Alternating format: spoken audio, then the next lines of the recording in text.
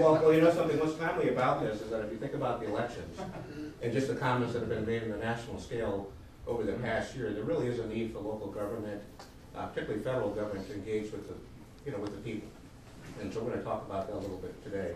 Um, And you can see here, we refer to this as democracy's, you know, new, uh, you know, lubricant. And what that essentially means is that we need, a we need to find a way to be able to engage the public in decision-making, and we're gonna talk about how that should work.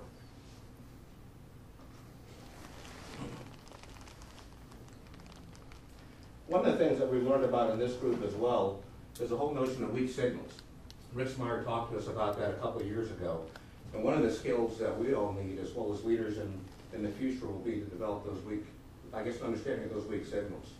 And for those of you that participated in the master capacity building training, that's one of the components.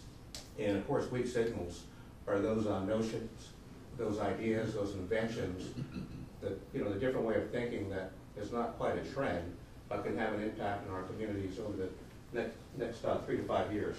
And so that's one of the skills that we're uh, saying that our future leaders need, particularly our, you know, the elected officials.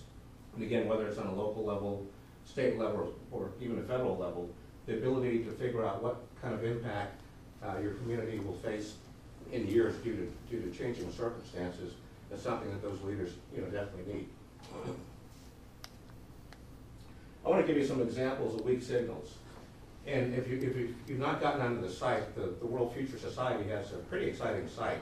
And they talk about a lot of those trends and weak signals and so forth. And I want to give you some examples. And particularly as we're talking about businesses that are innovative and talking about, uh, what impact they may have on our economy, being able to think down the road in terms of the future and what some weak signals are pretty important.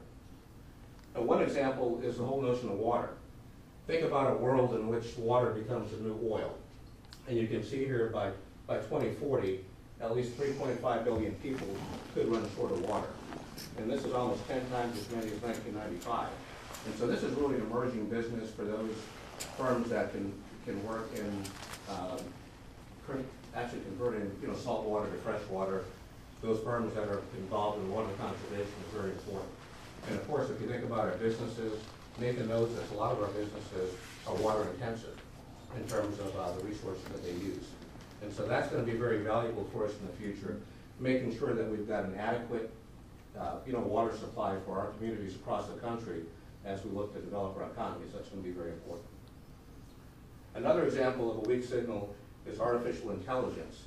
Think about a world in which, uh, and we've heard about this over the past couple of weeks, a world in which uh, computers will be able to navigate cars. Uh, We've got that with GPS, but to do that without a driver in the seat. And we know that, I believe it's Honda.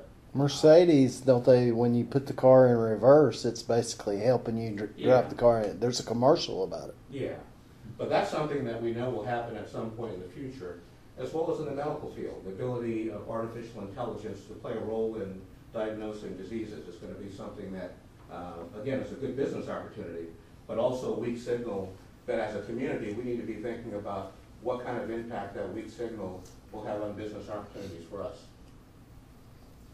Another example, and I know this group has talked about this, is WiMAX. And again, this is from the World Future Society site. And think about a place where, uh, about a future where folks can have access to, um, you know, to the internet, wireless internet, anywhere they are. And uh, we've talked a lot about, uh, about hotspots, uh, the role of, of technology in making sure that we develop our economy. But certainly those communities that get out in front of this, this is a weak signal in terms of the need. That's gonna be very important in the way that we develop our economy. We also need to be thinking about the people. And if you think about, uh, think about millennials, we do have an older generation that's uh, developing in our country. They'll have special needs, uh, particularly around the area of public health and medical support. But it's also said that the millennial, the uh, millennial uh, generation, those are the folks that are born between nineteen eighty-two and ninety-eight, will have a major impact on the society as well. And uh, it said that they'll exhibit some of the uh, qualities of earlier generations, but certainly whether it's a Generation X, a Y, you know, baby boomer, just getting a sense of what they need in terms of, uh, uh, you know, just over the next several years is a weak signal uh, as, as well. Another example of a weak signal is the role of the consumer. And certainly we all buy products. Uh, the companies that are on that list actually sell products or provide services. But, but being able to engage your customers in developing your products, we'll see more of that in the future as well. And some companies are actually doing that. And so that's referred to as being a prosumer. You're involved in the product end, but you're also involved in the consumering end as well. The other one that's really interesting to us in local government is the, uh, uh, as well as the federal government, is the aging population. And certainly with these advanced, I guess the advances in medical technology, folks will be living longer. And so what does that mean in terms of the way that we develop parks, we develop our infrastructure and communities? Getting a handle on that is gonna be very important as well, in terms of, in terms of service delivery, in terms of the products that that those consumers will No- require. Nobody's gonna die, is that what? Go every year, you live a year At, longer. at, at least no one in this room, be- because we're, we're, uh, the future economy. But certainly, that's a big issue for us. Now, one of the things I'd like to, uh, draw your attention to is this quote. Take a look at that and tell me what you think about that quote. What does that mean to you?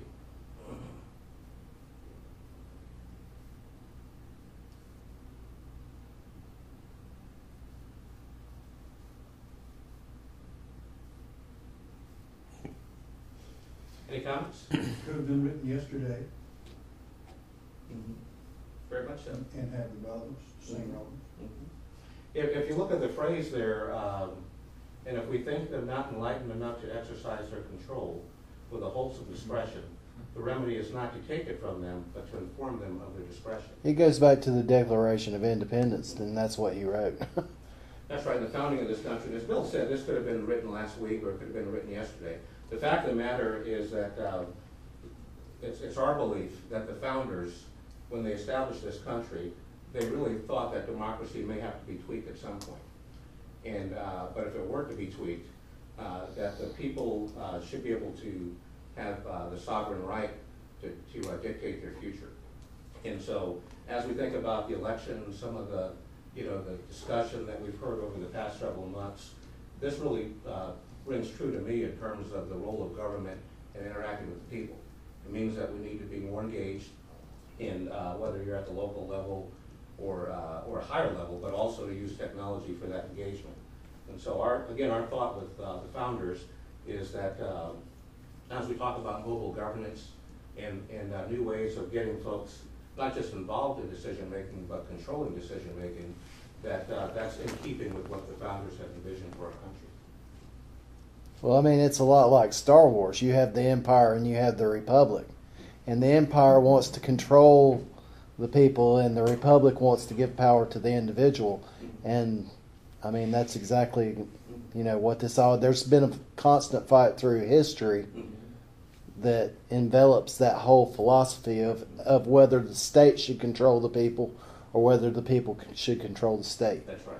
You put that hood up and you look a lot like Darth Vader. I have some characteristics there, believe me. He he just he a sword.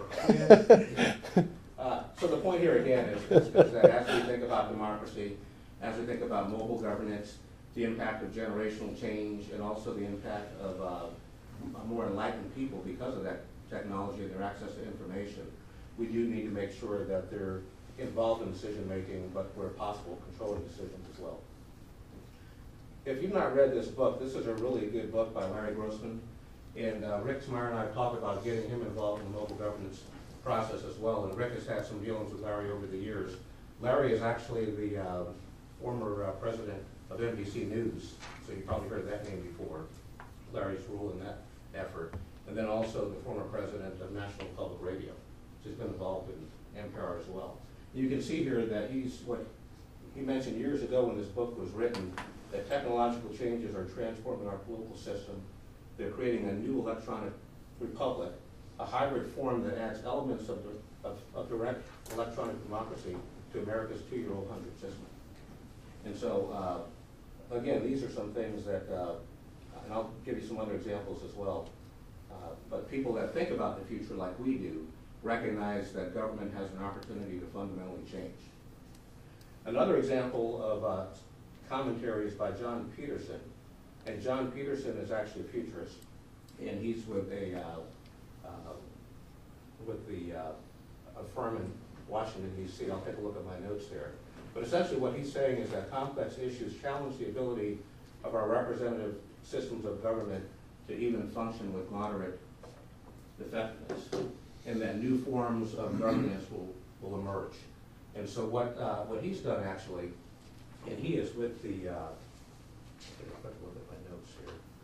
He is with the, uh, he's the founder of the Arlington Institute in Washington DC.